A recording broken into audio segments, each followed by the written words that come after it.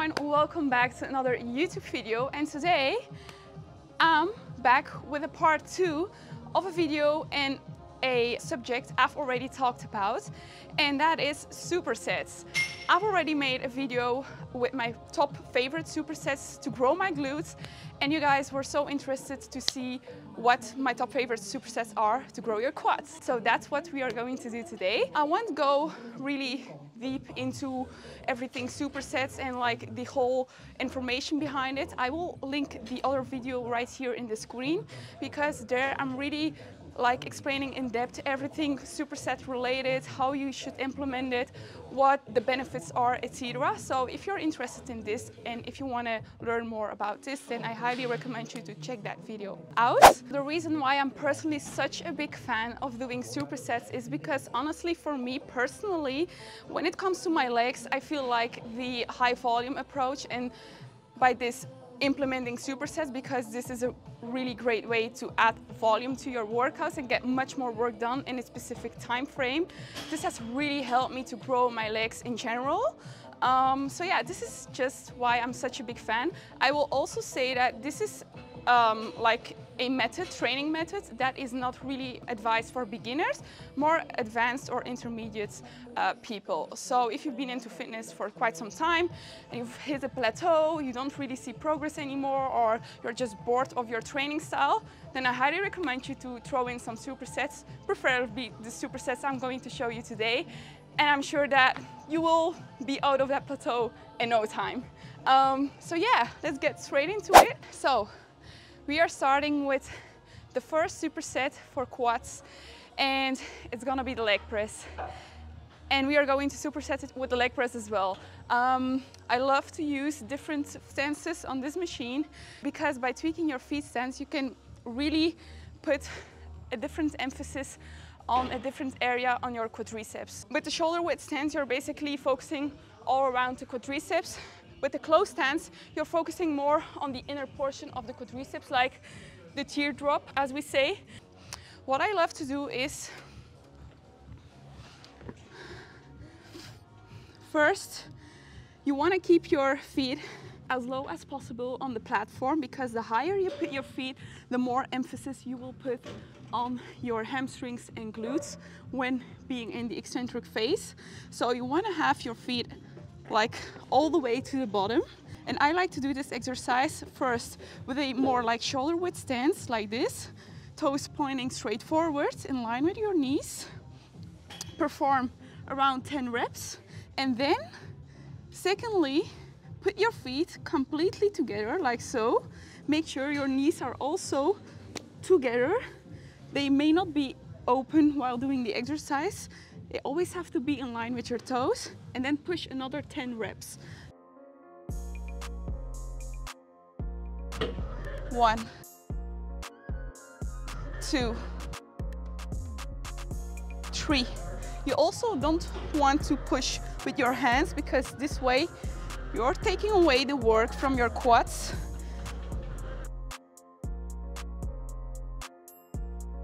Five,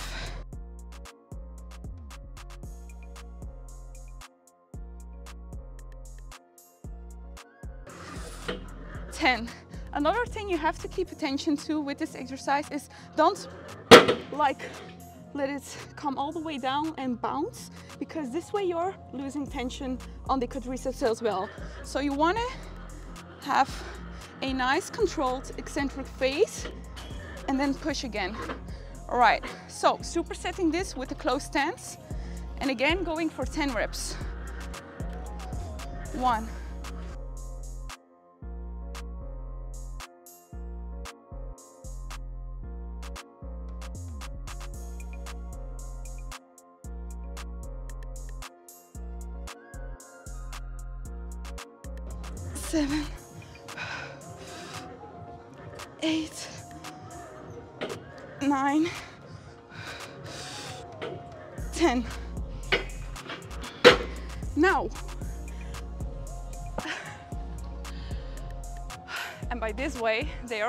This is all you need.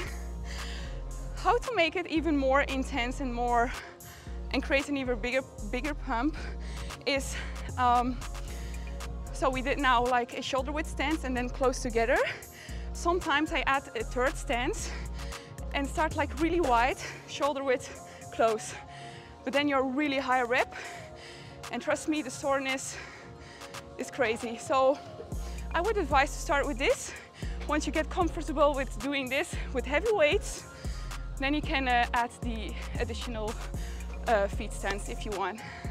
So yeah, that was the first one. 2% number two, and I'm so lucky because um, it's actually the hack squat and the leg extension. And um, when I do the hack squat, I always needed to do it with this machine, which is not really like a hack squat. It's more like a reverse hack squat, more great to, for hamstrings and glutes. Um, but, ta-da! They have, um, like the owner bought this new hack squat machine, like this is a real hack squat. And yeah, it's just been here for like three days or so. I haven't even been testing it out yet, so I'm very curious how it will feel. But one thing guys, if you wanna grow your legs, if you wanna build strength, if you wanna build muscle mass, this is gonna be your best friend. You don't necessarily need to be very strong at a barbell squat because I know it's very technical and it's not for everyone. But if you find like you struggle with barbell squats, please use this machine and I promise you, you will get the same results. Um, I will first test what the weight is on this machine. Oh my God. Because some machines are heavier than others. So let me first check that out. Ah, oh, the stretch, amazing. But also pain in the ass. It's quite light, so let's throw up some weights.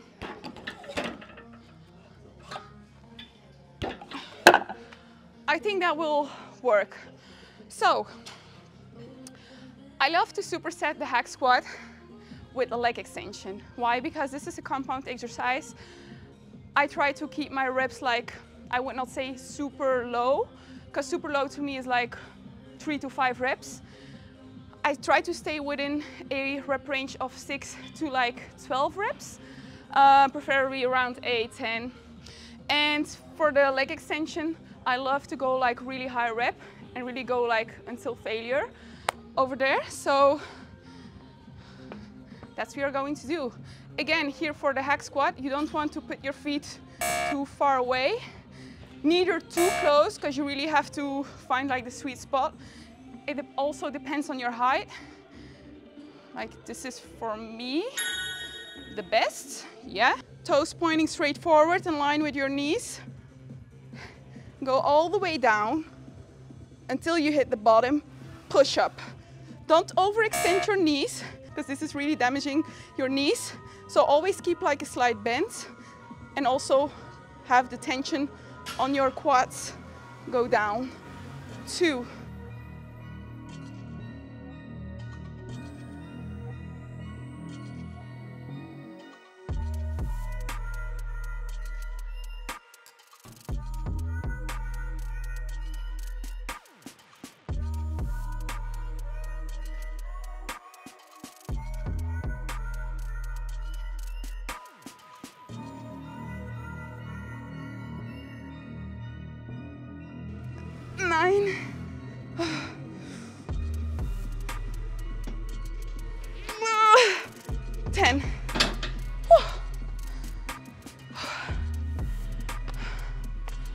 Okay, leg extension.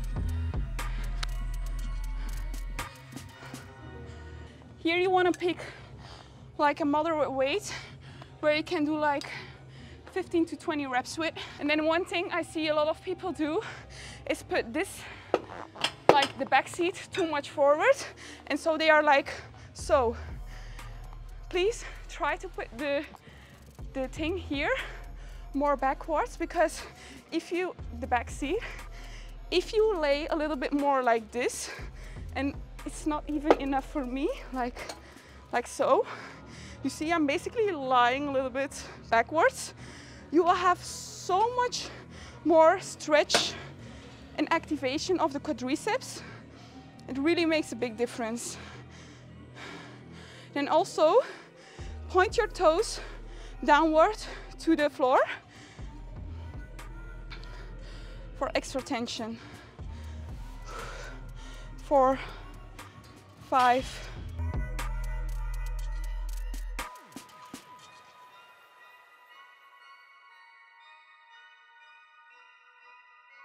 ten. Always keep a brief pause at the top. Eleven.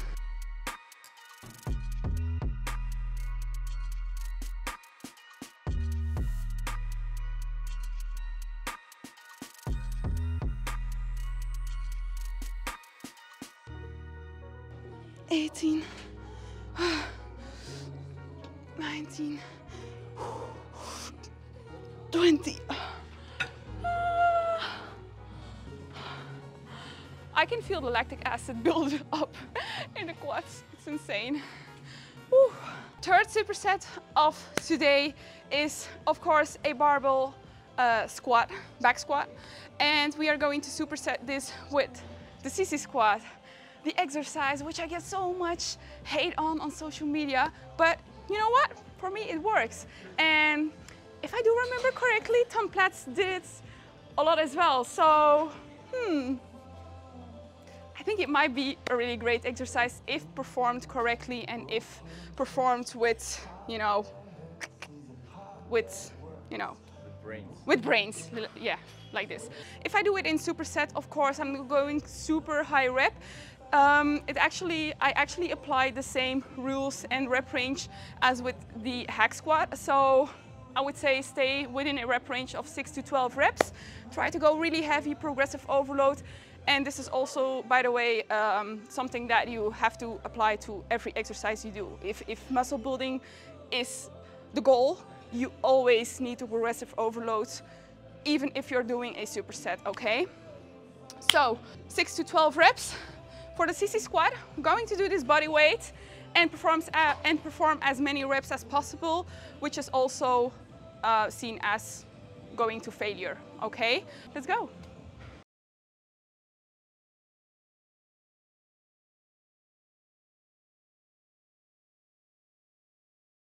So again with the barbell squat, put your feet around shoulder width. I'm putting them slightly more narrow because this is just my squat stance. Toes pointing straight forward or slightly outwards, but make sure again that your knees are in line with your toes. Then take a deep breath. Go all the way down. Bam. Don't overextend the knees again. Always keep a slight bend. Controlled eccentrics. Go as deep as you can. Up. All right? Three.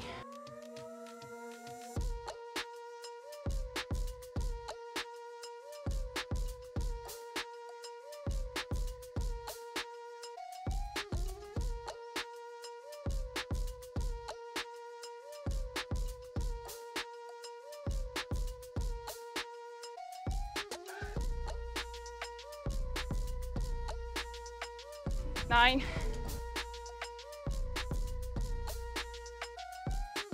ten.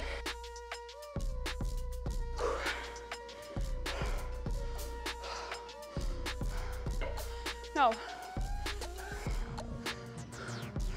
When it comes to the sissy squat, a mistake I see very often is people do like this. They basically do like a squat movement. But by leaning forward with your torso, you're basically limiting your range of motion. You're limiting the stretch in your quadriceps. And it's basically not the most optimal way to perform the sissy squat. What you want to do is make sure your feet are locked in very tight and basically think like someone is pushing you backwards. Okay? Keep an upright position. Go up. Don't come over like this, but like this. Slight bend in the knees again. Keep the tension. Go down, up, down, up. And basically, this one should be even lower for me. You see? The range of motion, the stretch, bam. It's gonna be way harder as well.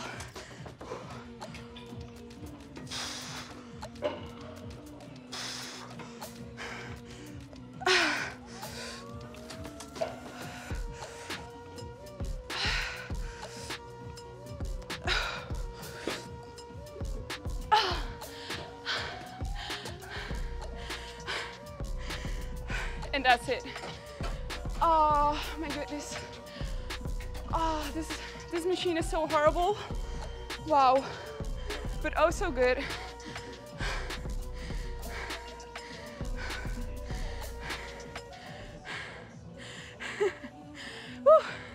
Feels like a workout. For the people, as I said, uh, during the hack squat for people that have uh, difficulty with doing a barbell squat because as I said it's very technical and you basically need quite a good ankle mobility for this. Not everyone has this, not everyone wants to work on this, let's be honest. Um, I have an alternative for you and it's called the cyclist squat. You take like a big plate, go stand on it with your heels, toes pointing straight forward, have the barbell on your neck, and basically do the same movement as just with your feet on the ground. No, what's the big difference with this is because your heels are elevated, even though you're all the way down, you're still in a 90 degree angle, which is not the case when you're doing a barbell squat all the way down. The angle is much more like this. As I said, much more ankle mobility. Here, you don't need this. You have a 90 degree angle. Go down, up, go down, up. With this squat variation, you can basically have the same depth as with a regular squat and less technique is required. So yeah, I hope this helps. For the sissy squat, I have two alternatives as well. One is a little bit more advanced and the other one is more beginner friendly because I also know that no, not all gyms has this specific uh, sissy squat machine. So the more advanced version is you grab something or if you're ultra advanced, um, you can just do it without holding anything. So feet together and go down with your knees as far forward as possible. Keep your uh, body in one straight line. Push up, tight core. Up. Up. Up. What I see a lot of people do is like this and then come up like this. You basically take away like the whole point of the exercise. Then the beginner friendly exercise, you take a mat, go sit like this, keep a straight upper body, tight core, go down as deep as you can, up, down, keep constant tension, up. When you go too much backwards, you see my knees are coming off the floor. This is too much range of motion. Your knee should always stay on the floor, okay? So for me, this is like my limit range of motion and I should go up again, okay?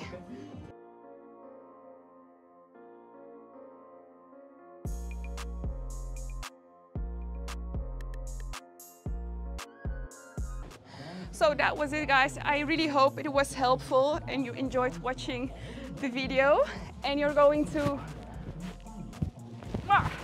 implement the supersets into your own training routine. I'm very excited for this and how you will experience it. Also, quick side note, TLF is currently having I think around 30% off site-wide. And they also recently launched these new pump covers in different colors. They are super cute. I always love to put them like so. You know, like you get a little bit of glutes. Um, so yeah, if you want to check it out, I will put the shopping link and my discount in the description box of the video. And now it's time to head home because I'm hungry. And yeah, let's do this.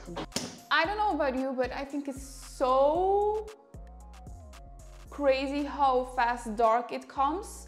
Like we drove from the gym home. I've been home for like 15 minutes or so. And now it's dark outside. It's crazy. I'm like here with my light boxes and stuff. I'm so not ready for this winter period. I don't know. I actually received a whole new package with products from Myprotein yesterday. with my monthly order. And I'm gonna give this new Clear Whey protein flavor a go. It's the tropical dragon fruit. It's a new flavor actually, and I'm very excited. It seems to be very delicious.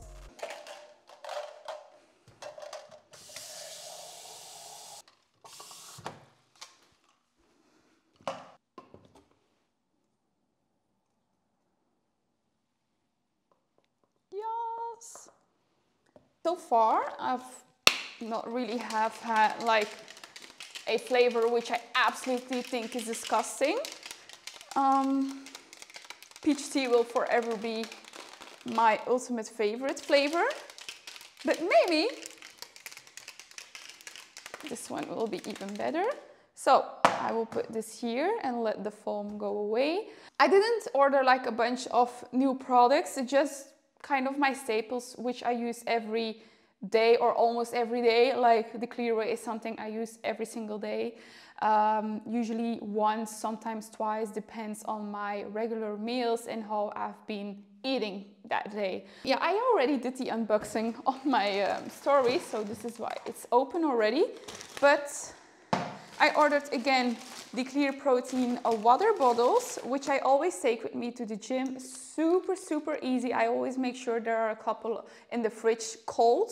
Um, so I can just grab them with me and go to the gym. It's super refreshing. They contain 20 grams of protein and they actually contain zero sugar as well. Uh, I also ordered the Flav powders and then also the Flav drops.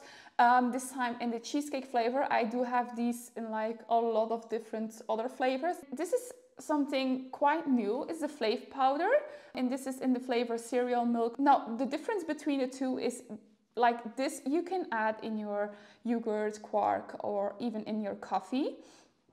The Flav powders, uh, it's a powder as the name can tell and they contain like little chunks in it.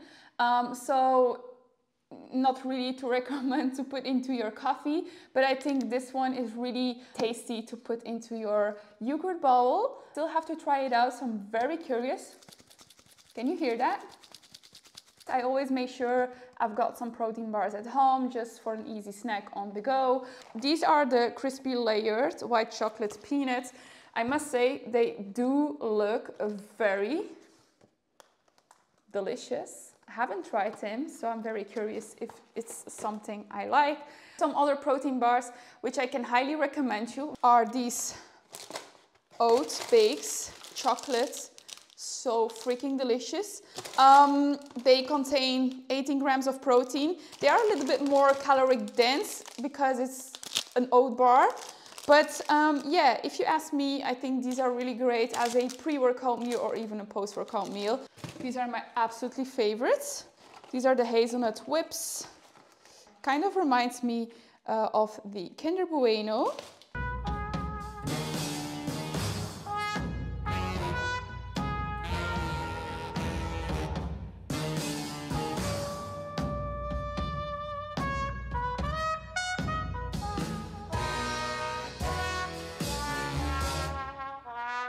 Then I also ordered the ashwagandha gummies and then also some krill oil.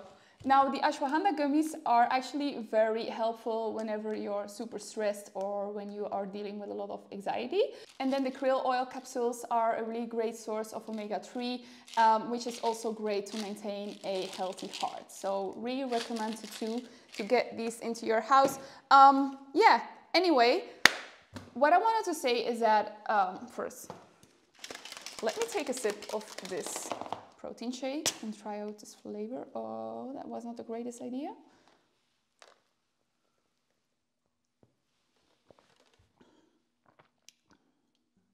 It's not bad at all. It's, I would say, between fruity and candy or so. It's not bad, but I still prefer the peach tea. So, what I wanted to say is that Myprotein is currently having a big sale on their entire website, even on the Clear Whey Isolate and the Clear Whey Vegan, which I highly, highly, highly recommend. Um, they are running a 30% off at the moment through my shopping link and my discount code. I don't know how long the sale will last, but this is the perfect time if you want to stack up on your favorite supplements or if you want to try out some new products, um, perhaps some products I've shown you and which I implement into my daily routine.